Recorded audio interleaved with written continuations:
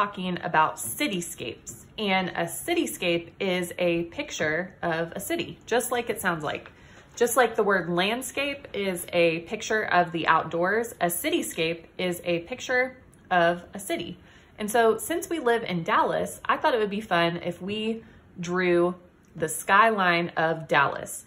Now I'm gonna give you a couple options. You can just draw your cityscape on a piece of paper, or if you have a recycled jar or can and you want to put your artwork um, over that jar to create a pencil holder, I'm gonna give you that option. So if you want your uh, final artwork to be able to wrap around a jar to create your very own pencil holder, you're gonna wanna measure how tall your jar is and cut your paper to be that height because this paper is too tall to wrap around that. So you're gonna wanna measure how tall it is and then cut your paper accordingly. So then at the end, you can wrap it around. Now, if you don't have a jar, you can just do your artwork on a piece of paper and that will be great too. So you're gonna need a pencil and paper to start with. I'm going to be actually using a Sharpie because I want you to be able to see what I'm drawing. So to get started, we're gonna start in the bottom left corner and we're gonna start by drawing this short building. This building is actually the Hyatt Regency in downtown Dallas. It is a hotel and it's um, known by its stair step uh, features. So I'm gonna draw my combination of horizontal, vertical, horizontal, vertical. And this building is not very tall. So you only want to go up about a, a third of your paper because we have buildings that are gonna be a lot taller. And this uh, hotel is actually connected to one of our other buildings, Reunion Tower. But when you look at the city from a certain angle, it looks like um, it's kind of far off from it. Okay, so once you draw that building, we're gonna then move on to our next building. This building is called Fountain Place, and it is known for its slanted uh, top, and that's what makes it noticeable in the skyline. So we want our buildings to connect. We're gonna end up painting our whole uh, skyline black to make it look like it's in a silhouette. So I'm going to go up. So this building, it's not the tallest in the skyline, so you wanna go up a little bit past the building we just drew. And then you want to draw a slant. You wanna draw an angle. And then you're gonna draw another angle to make it look like a triangle at the top.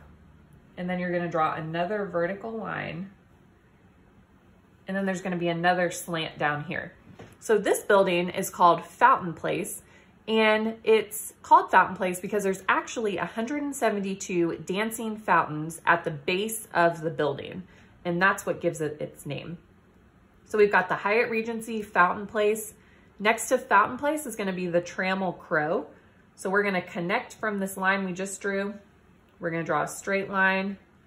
And then we're gonna draw a few more stair steps and then one thing that makes this building noticeable in the skyline is its pointed triangle top on top of those stair steps. So I'm gonna draw my vertical line. This building is symmetrical, meaning that it's the same on both sides. And Trammell Crow it's actually the sixth tallest building in the city of Dallas. It has an Asian art museum at the bottom of it. The rest of the building is used for office space, but the owners of the building had a large uh, Asian art collection, and that's actually um, housed at the bottom. Okay, so the next building we're gonna draw, I'm gonna bet most of you know this building. And this building is called Reunion Tower, and it is iconic to the city of Dallas because it because it is a giant ball-shaped building. So you're gonna draw a straight vertical line, then you're gonna draw a ball at the top, you're gonna draw another vertical line coming down, and then a horizontal line. So fun fact about Reunion Tower, there's actually a restaurant at the top of the building and the floor actually rotates.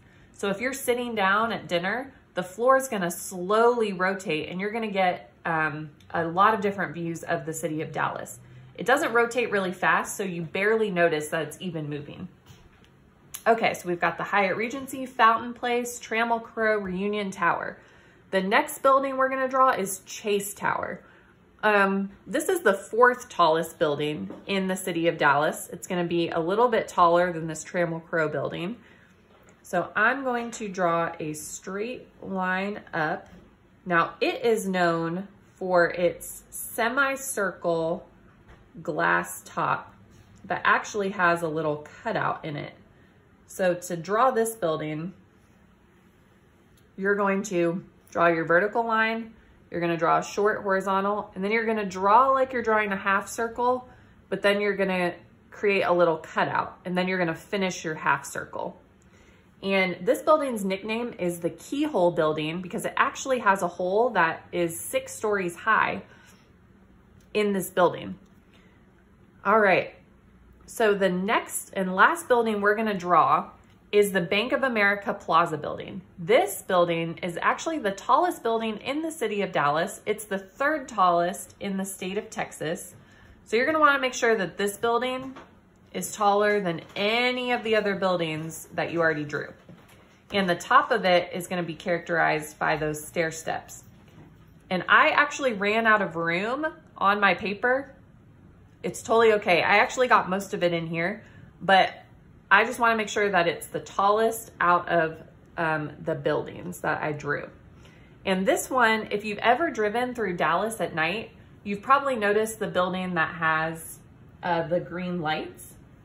That is this building.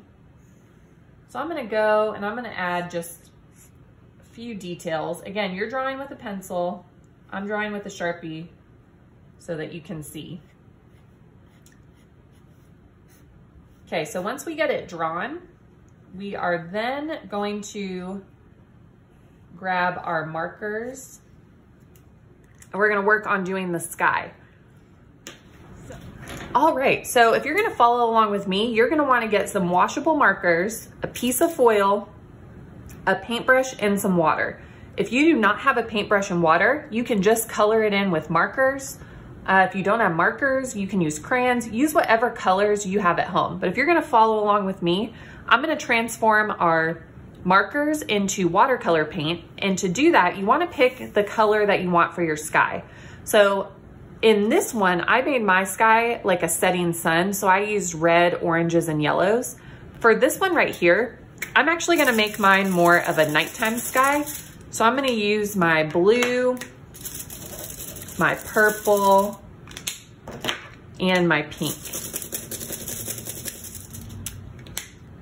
And we're gonna actually do our sky first before we uh, work on our buildings and making them black. So pick the colors of your sky. Maybe you want yours to be like mine with the warm colors. Put those on your foil. You're gonna dip your paintbrush in the water and then you're gonna dip it in the marker ink and then it's going to start to activate the ink and it's going to act like a watercolor paint. So I'm gonna fill my sky with blue and then I'm gonna start to overlap some of my purple and pink.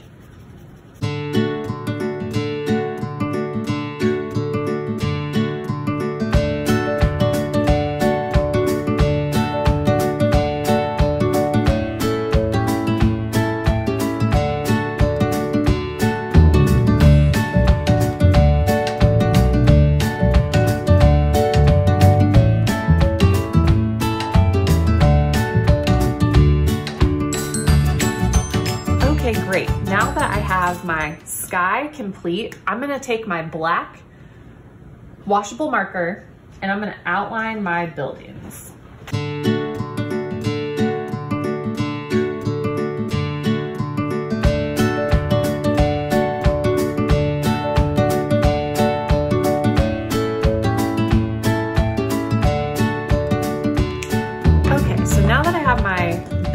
Outlined, I'm also gonna add some black onto my foil. And I'm gonna dip my paintbrush in the water and I'm gonna start to put it on the outline to activate the paint and then to start spreading it to the center of my buildings. So this is gonna create like a light black color. To get it to be darker, you're just gonna keep uh, adding layers onto it. So I'm dipping my brush in the water. I'm putting it over that outline that I just created, and then I'm spreading it to the middle. And this is gonna give your buildings a little bit of dimension.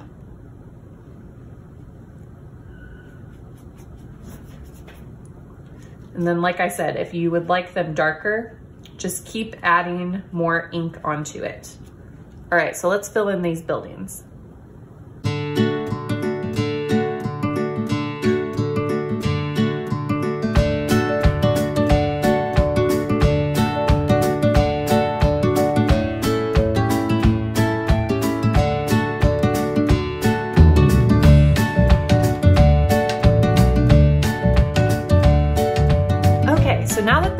Are filled in, uh, I want you to notice how the colors are starting to bleed together a little bit. That is very characteristic of watercolors.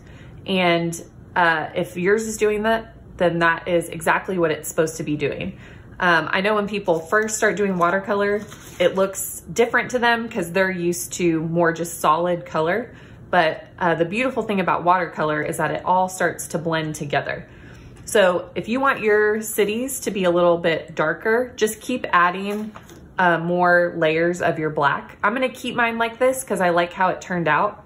And I hope you had fun with this project. I cannot wait to see your cityscapes.